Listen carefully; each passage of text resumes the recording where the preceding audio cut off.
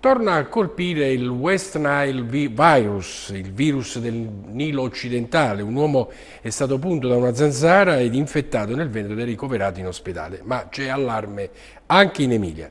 Poi sul finale vedremo quali sono anche le aree in Campania, anche in provincia di Salerno un po' più endemiche, perché ci attaccano le zanzare e come possiamo difenderci. Nelle regioni del nord-est e del centro questo virus è endemico ed esiste un sistema eh, abbastanza fitto di sorveglianza regionale con azioni di contrasto e di campagne mirate alla disinfestazione. L'allarme è in tutta Italia, dicevamo, perché il virus è endemico al nord ma anche in Sicilia e in Puglia e quindi il rischio è per tutti, anche a causa del cambiamento climatico, di insetti, specie le zanzare che viaggiano con i migranti come possibili portatori e nel caso del virus del West Nile anche degli uccelli migratori. Ma cosa è questo virus eh, su cui il Ministero della Salute mette periodicamente dati circolari perché concentrato al nord ma con focolai incipienti anche al sud e come sentiremo tra poco anche in Campania, in provincia di Salerno, a Serre di Persano. Quali sono i sintomi su noi umani? Chi è più a rischio anche fino al decesso, anche se in casi molto rari? Sentiamo in questa intervista realizzata tempo fa con uno specialista, il professor Giuseppe Iovene, ordinario di malattie infettive del Dipartimento di Medicina Veterinaria della Federico II di Napoli. È un virus che fa parte di una bella famiglia, l'altra volta abbiamo parlato di dengue, è un virus della stessa famiglia di dengue, del dengue. È stata scoperta nel Nilo, perciò si chiama West Nile, sì. nel 1937. È una patologia diciamo, che ha un, un ruolo nel, negli animali particolare, cioè abbiamo la solita zanzara che porta questo virione e infetta gli uccelli, che eh, bisogna anche differenziare, ci sono degli uccelli che amplificano la viremia, ci sì. sono degli uccelli che sono vittime di per questa. Esempio? Per esempio gli amplificatori sono i corvi, cornacchie, cioè tutti quegli, ah, quegli sì. animali per esempio sono in grado di amplificare il virus, che significa? Significa che quell'animale è in grado di eliminare una quantità di virus 100 volte, 1000 volte superiore a quella che può essere per esempio un altro tipo di uccello. Uh, o i polli stessi, insomma. Sì. Quindi diciamo, ecco, questi sono gli amplificatori, però accidentalmente, si dice nella, nel campo epidemiologico, si dice a cul-de-sac, cioè accidentalmente sì. questo virus, l'infezione può colpire l'uomo o i cavalli. Quindi ecco, sono sì. le vittime diciamo, di questa sì, West Nile. Ecco qui i casi umani di malattie, questi sono alcune slide mm, che ci ha fatto pervenire, cioè il Ministero della Salute emette sì, circolari ogni anno circolari ogni e anno. aggiornamento sul, sui casi. Eh, la particolarità è che questa, questa, patologia è entrata in Europa, prima in Francia, nella palude vicino alla, in Camargue, nella regione della Camargue, poi è passata in Toscana e poi adesso, dopo dieci anni, è stata di nuovo ritrovata nel delta del Po e tutte le regioni dell'Emilia Romagna.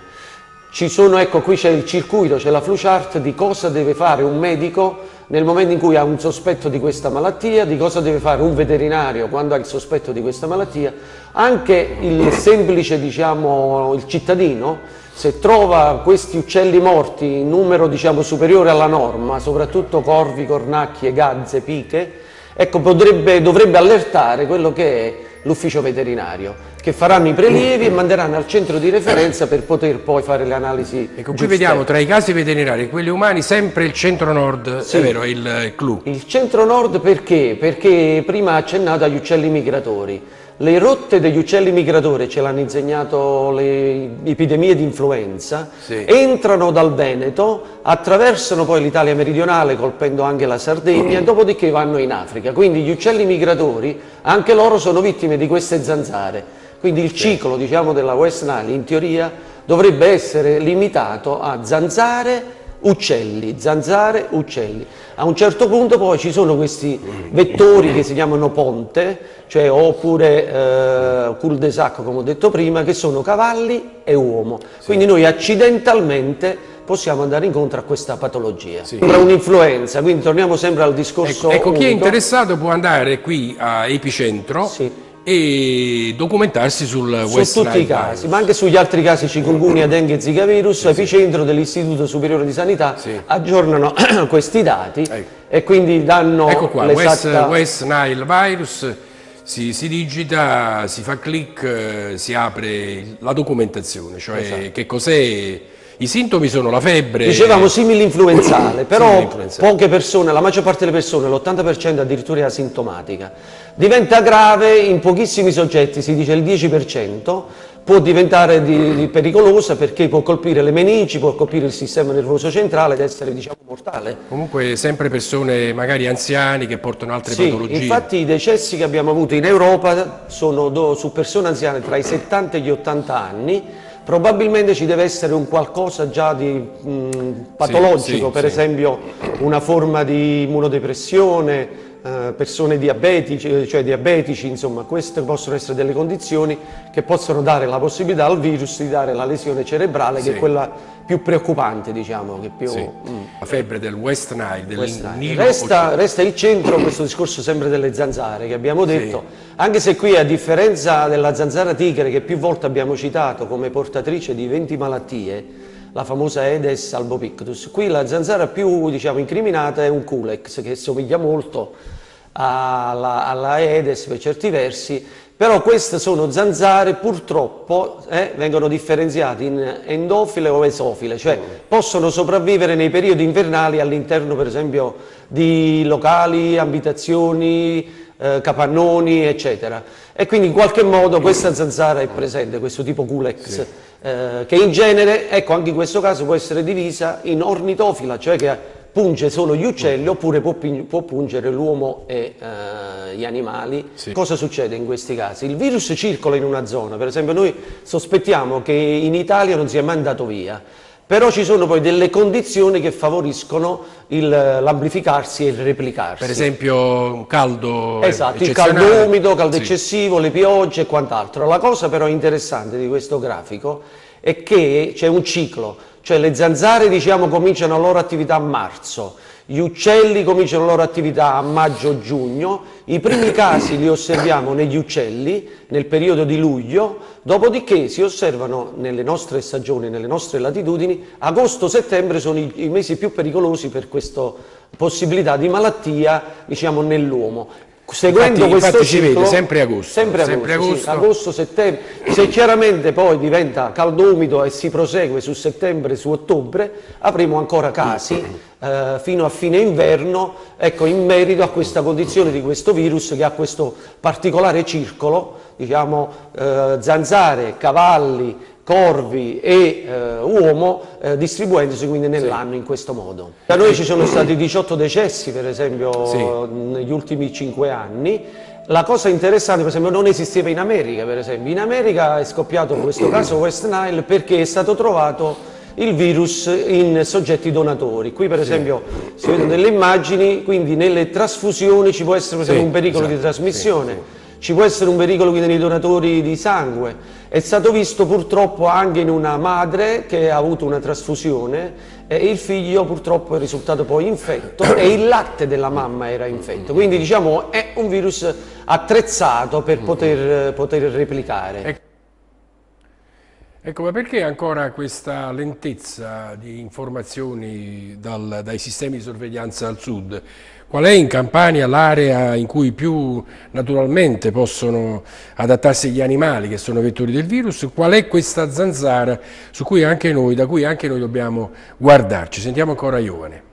Il, tutte le ASL devono fare una inchiesta entomologica, cioè in effetti ci sono delle, vengono messe delle catture perché dobbiamo aggiungere un altro tassello. Abbiamo parlato degli uccelli, abbiamo parlato del virus, abbiamo parlato del vettore, sì. bisogna aggiungere le zone umide.